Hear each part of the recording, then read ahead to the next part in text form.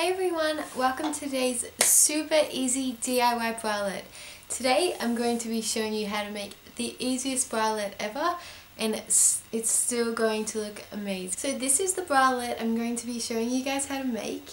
Um, as I said, it's super easy. All you're going to need is basic sewing skills and you will be fine. If you don't know how to use a sewing machine, um, ask around, you know, chances are your mum, your mum's friend, your grandma, grandpa might know how to, not grandpa, your grandma might know how to use it. Maybe your grandpa, you never know. But yeah, because surely there's someone who knows how to use it and who could teach you because all you're going to need is literally the most basic sewing skills and look how great it turns out. The thing I love so much about this bralette, it is so cheap to make. It cost me literally under $10 to make and that's why I love it so much. Another thing I want to talk about is with these bralettes there is so many different ways that you can style them and I would love to show you guys lots of different ways so if you want that give this video a like and I'll definitely create a video like that for you. And lastly just before we get into it behind me you can see a few different styles and this is just a little bit of a preview for my next video where I'm going to show you guys how you can style knits as it is winter in Australia and I thought this would be a fun video and it will also make sure you stay warm in winter and good of course. So let's get into the DIY and I'll see you guys next time with my how to style knits in winter Okay, so what you're going to need is some scissors, some thick elastic and some thin elastic, half a meter of fabric, some lace trim, pins and a sewing machine. So first of all I'm going to take my pattern and I'm going to use this as a base for my cups. Now I will upload this so you guys can use it if you don't have one. I'm going to measure out just where all four pieces will go because I'm going to need four of them, two for each side, and then just cut the excess fabric away so it's easier to work with. So now I'm going to fold this in half and then fold it in half again. This is just going to make cutting out easier so I end up with four in one go without having to cut the pattern four times over again. So now I'm going to place the pattern on and pin it down. Um, I need to be careful when pinning it because if you don't pin it um, carefully, when you're cutting it you won't get a straight line. Also flipping it over and checking it smooth is a good idea as this will make sure you're not getting any bumps in your fabric. Now we're just going to take the material and cut out the pattern. It's very important to be careful when doing this as you want it to be straight. Also don't forget the little notch because this will help you line up your cups later on. Now that I've got my four cups, I'm going to split them into two as I need two for the left side and two for the right side. This is just showing you roughly what it will look like. So I've grabbed my lace and I'm going to cut out the amount I need for the cups. Another important thing to remember when choosing your lace is that it's stretchy because you want it to be comfortable on the body. So now that I've cut my first piece, I'm going to cut another four for each piece. Okay, so as you can see, the lace has two sides, so you want to be careful when pinning this as you want to make sure you get the right side up.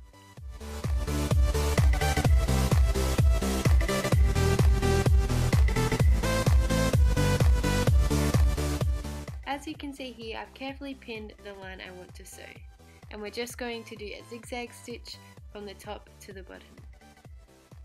Because this is stretchy fabric, as you're sewing you might have to stretch the fabric just a little bit gently just to help it ease itself in. Okay, so now that we've sewn the lace trims on, we're going to match up the notch we created earlier when cutting out the pattern. This is to make sure that our cups are evenly lined and that the line will look straight from the front once it's sewn together. So we're just going to sew from the top of this to the bottom with a straight stitch. Another tip is don't forget to backstitch at the start and the finish so that your threads don't come undone.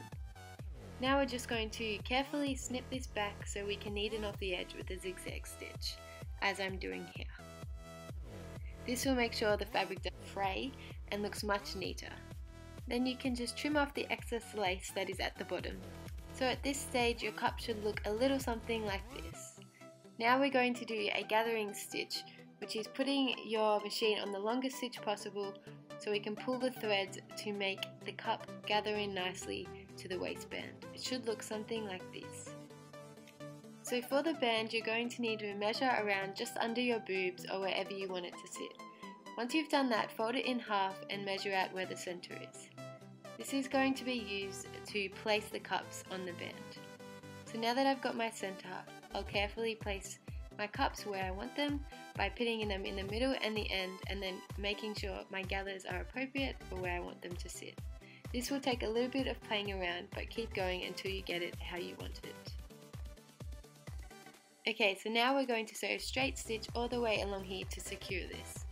Now this can um, be very hard because of the gathers, so just carefully push them down as you're sewing and try not to sew fast over them. This should be done slowly and then trim back the excess. Okay, lastly it's time to measure your shoulders and the length you want your straps to be. Then we're going to pin them to the top of each cup on the inside as we're going to sew this with a straight stitch.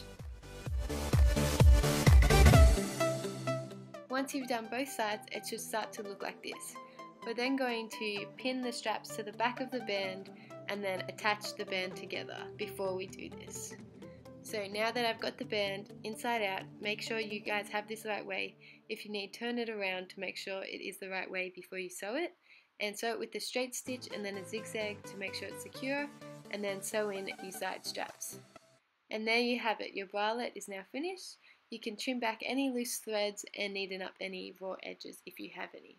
Thanks for watching guys, I hope you liked it and if you did, please give it a thumbs up because that mean that tells me that you like my DIYs and that you guys want more and I would love to do more DIYs. It's so much fun and I love teaching you guys new stuff. More videos like this, please subscribe. There's going to be so many more fun videos coming up and as I'm from Australia, my knitwear video is going to be up soon as I was telling you guys, so stay tuned for that. See ya! Thanks for watching!